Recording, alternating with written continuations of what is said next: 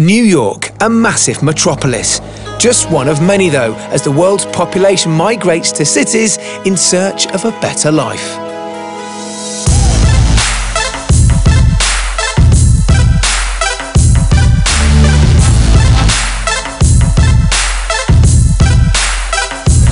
It's described as a concrete jungle by some, but urban oases like these are breathing life into one of the most densely populated cities on the planet.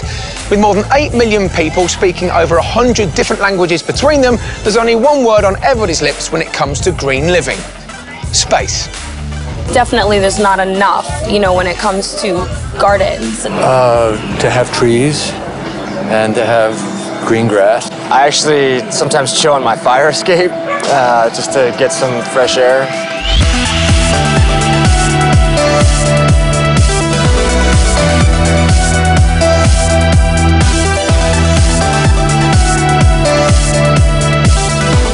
An ever-growing population adding to a city that can't physically get any bigger.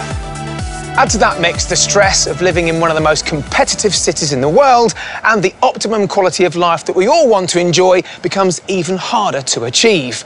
But don't worry, things are looking up. High above the frantic flow of life and the city's busy streets below are countless rooftop gardens like these. Clever New Yorkers are creating their own little piece of heaven wherever they can find it. So, Michael, why are these rooftop gardens becoming so popular now at the moment? Well, I think people really have an, a desire to connect back with nature. So these these rooftop spaces are really the only spaces where people can can build out and and sort of fit in. And visually, Yes, I'm seeing green in, in a city that's full of what? Grey glass and steel. absolutely, absolutely. And and people they love their parks, but they want to have private spaces that they can go, take their shoes off, walk and feel the you know the lawn, be able to pick their own tomatoes, herbs, things like that. Something you Uh, wouldn't expect to be able to do in a city. absolutely. So, what are the benefits of having a roof garden like this then? For the owners, uh, it's a great asset. It's a great place to entertain. It's a great space to enjoy and have their own sort of private oasis away from the sort of hustle and bustle of the city. It, it just adds a calming effect to your overall life. Looking at this, what's been created, I don't know why more people aren't doing it. With almost 80 square kilometres of roof space, imagine what a New York covered in the green stuff would be like. Breathe and relax. Well, I'm no big gardener, Michael, and this looks fantastic. I'm already feeling that this must take a bit of work. You just have to keep in mind that, that it's going to require a lot of effort and Yeah. maintenance. Um, it has to be mowed at least once a week. It takes ongoing care uh, throughout the year, um, spring, summer, you know, even into winter. Uh, there's a great effort that, that's involved in making it work.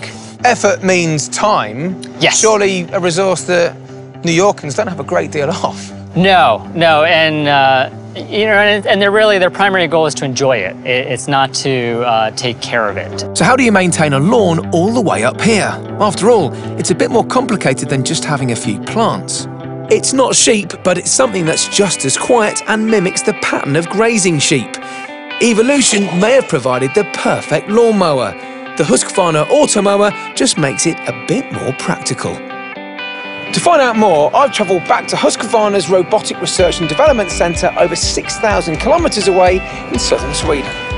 The Husqvarna Automower was originally developed here 20 years ago and is now a third generation product packed with some fantastic features. These are robotic lawnmowers.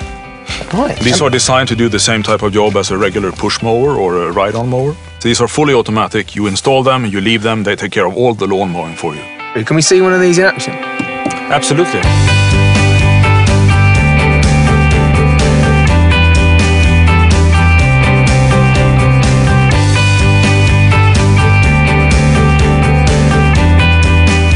This is currently mowing the lawn. Yes. As we, as we see, I mean, it's, it's quiet. That's the first thing I notice. Whoa, whoa, whoa, what's going on there? That's going to go off the edge. No worries, Johnny. How does it know where the boundaries are then? It's actually a small wire that is buried around the edge of the lawn. Right. And the mower detects that and knows inside from outside, so it, it stand, stays inside the wire all the time. But I've noticed, I mean, it's going all over the place. It, it looks kind of random. The purpose of that is to get this uniform cut not to have the stripes that you go with a conventional mower. You have stripes, parallel stripes. It gives you a certain look. We prefer the more natural look, the carpet-like finish, and so therefore it goes in different directions. Now, there's a few obstacles on this garden. There's trees, there's a big boulder over there. I mean, what's to stop it banging into these and damaging itself then?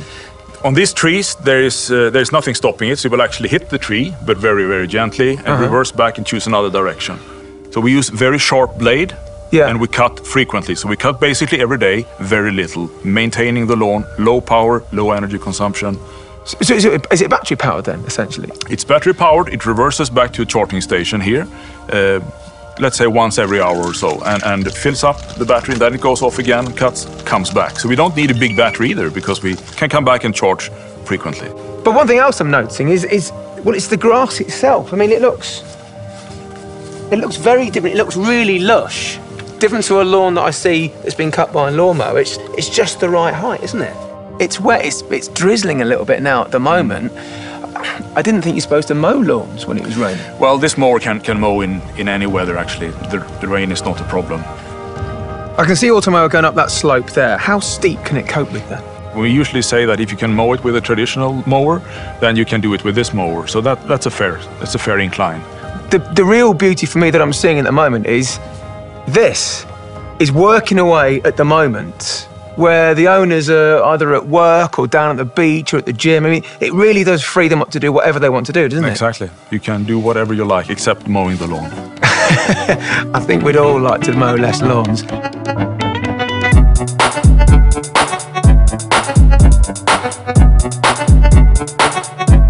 Back in New York, I can't wait to hear what our garden expert Michael thinks of this idea. Hey Michael, how's it going? It's fantastic. I love it. I think this this will be a, a big hit, uh, not only for roof terraces, but uh, anybody who has a lawn space uh, and wants to take back some of their time. Yeah, that's it, isn't it? It's it's giving you the time back to hopefully enjoy what this space is here for. Totally. What do you think about the cuts, the way it looks afterwards? Looks great to me. I mean, Yeah. initially it sets uh, sort of a fun pattern, uh, but when you let it keep, when you let it go, you don't even see that the the, the lawn's actually grown. No. Uh, it looks perfect every time. So It's a I keeper. definitely a keeper. So the story ends where it began, here, overlooking the incredible skyline of New York. Some see a concrete jungle. I see potential, a place where a greener life can flourish because of our basic human need to connect with nature wherever we live. The Husqvarna Automower helps us along the way and gives us the time we need to enjoy it.